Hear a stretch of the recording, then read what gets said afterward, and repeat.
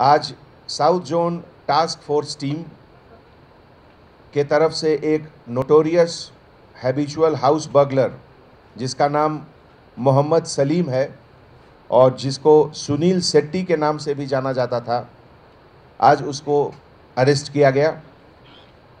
Arrest करने के बाद उसके पास से लगभग 700 ग्राम सोने का ज्वेलरी, जिसका टोटल कीमत लगभग 21 लाख रुपीस है, उसका रिकवरी हुआ। ये हैदराबाद, साइबराबाद और राजकोंडा तीनों पुलिस कमिश्नरेट में लगभग तेरह केसेस में इसका इन्वॉल्वमेंट अभी है और अपने लंबे क्राइम हिस्ट्री में ये लगभग 150 केसेस में इसका इन्वॉल्वमेंट पहले भी रहा है। आज के पहले पुराने केसेस में अलग अलग जगह 22 टाइम्स इसको अरेस्ट किया गया। और लास्ट में, जब जनवरी 2018 में, जब जेल से वो रिलीज़ हुआ सेंटेंस कंप्लीट करने के बाद, उसके बाद सीरीज़ ऑफ़ ऑफेंसेस हैदराबाद में इसने किया। एक बहुत ख़ास बात इसमें यह है कि हर बार जब ये अरेस्ट होता है, और इस जब इसकी, इसको कोर्ट में सज़ा सुनाई जाती है तो ये कभी भी अपील का कोशिश नहीं करता है। ये पूरा टर्म कंप्लीट करके उसके बाद जेल से बाहर आता है। इसके कारण भी पीडी एक्ट लगाने में इसके ऊपर थोड़ी दिक्कत हुई थी। नेचर ऑफ़ क्राइम इसका ऐसा है कि यह लोअर मिडिल क्लास और मिडिल क्लास फैमिली को सेलेक्ट करता है और जो मोडस एपरेंडी काम करने का जो तरीका है इसका वो स्केलिंग ऑफ़ वॉल दीवाल को जंप करके कैंपस के अंदर आकर ये क्राइम करता है। पहली बार यह 1991 में क्राइम किया और ये सिटी डॉसियर क्रिमिनल है, Falaknuma police station old city का।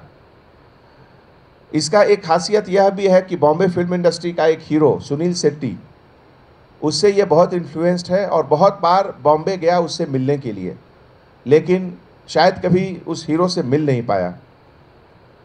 क्राइम का आदत इसको बचपन में लगा, जब इसके फैमिली में, इसके फादर के पास किराना का बिज़नेस था और बहुत छोटे उम्र से ही वो किराने के दुकान में चोरी करने का आदत इसको लग गया।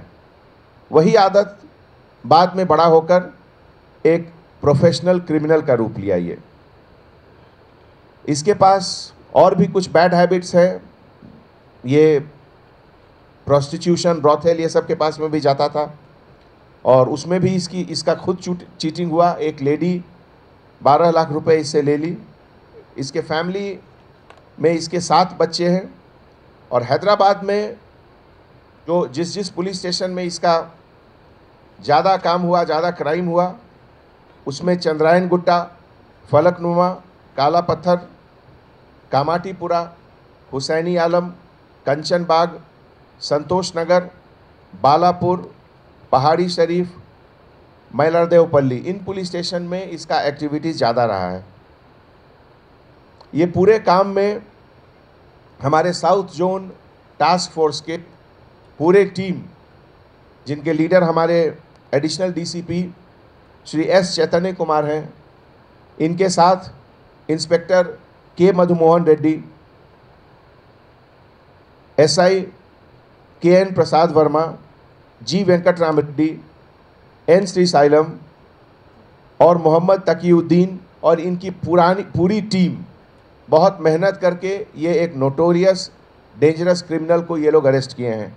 हमारे तरफ़ से साउथ जोन टास्क फोर्स के सभी मेंबर को एडिशनल डीसीपी साहब को मुबारकबाद और हमारे तरफ़ से इनको सबको रिवॉर्ड भी मिलेगा। That's all from me. Thank you.